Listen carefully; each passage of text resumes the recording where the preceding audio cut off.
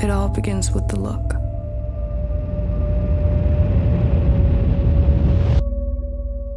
And then you wake up.